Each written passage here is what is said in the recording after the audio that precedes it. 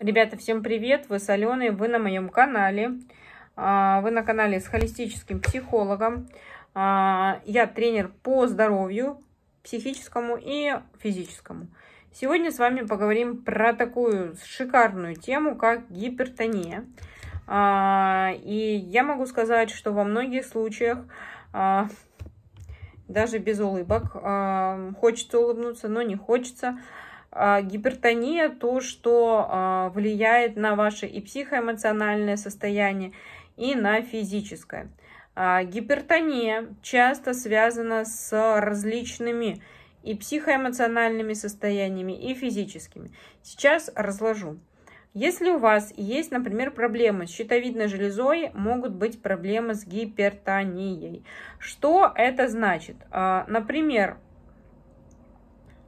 при дефицитарных состояниях может подниматься давление. При дефиците натрия, калия, кальция также можно иметь гипертонический криз.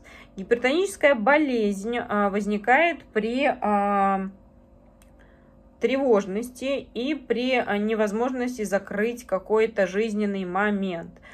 То есть вы нервничаете по какому-то априори интересному, тревожному для вас состоянию. И могу сказать, что во многих случаях для того, чтобы гипертония прошла, нужно разделить для себя. Это работает моя психика или это у меня проблемы с гормонами. И тогда я принимаю дикий ямс, я а, восполняю суточный белок, я даю себе магний, я двигаюсь, я пью достаточное количество воды, я добавляю а, нутриенты для кишечника, для желчного. Это одна история.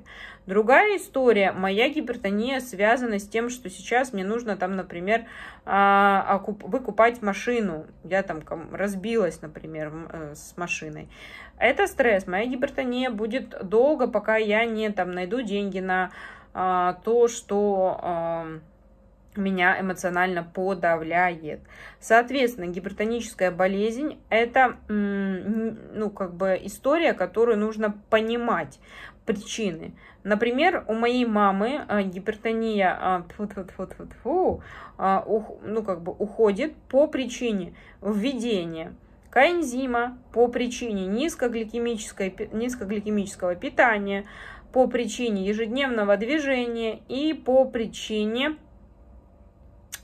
отсутствие стимуляторов, то есть она не пьет там кофеин, что-то такое, она пьет достаточное количество воды, магний, э, минералы, э, пьет э, коллоидные минералы и, соответственно, много двигается. Питание у нее абсолютно простое, никаких булок, хлебов, колбасов и чего-то такого она не принимает внутрь, соответственно, ну, давлению неоткуда быть. И э, другой момент а, – это нервная система.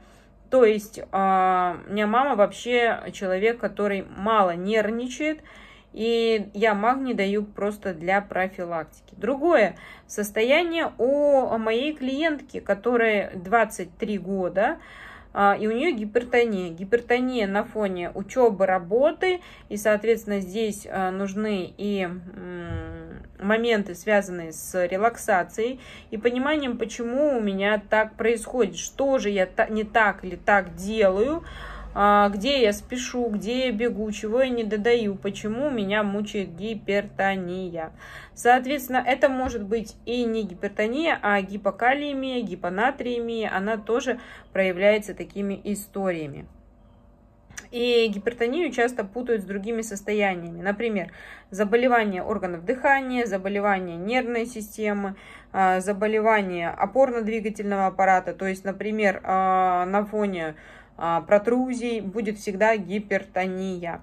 А, соответственно, нужно знать свои болячки в лицо, профилактировать их и не сдуваться, как я говорю, потому что сдуваться мы будем на том свете, а здесь мы будем а, создавать, работать и стараться быть в тонусе.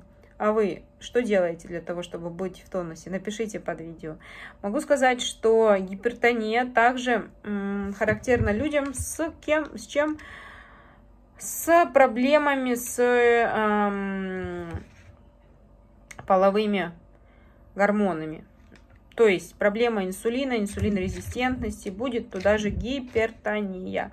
Все это нужно решать комплексно. Омега, Сиекс, Бердок, а, Биплерум, ну, восьмерка.